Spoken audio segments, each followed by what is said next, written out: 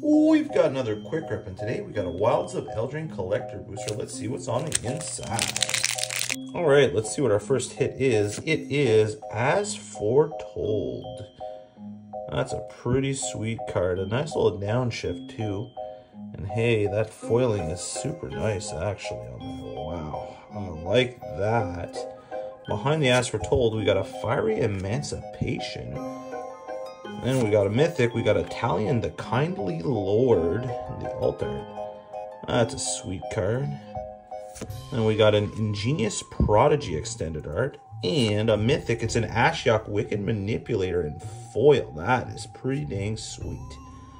And we got a Griffin Aerie in the foil and a Vampiric Rites and our foil full art land.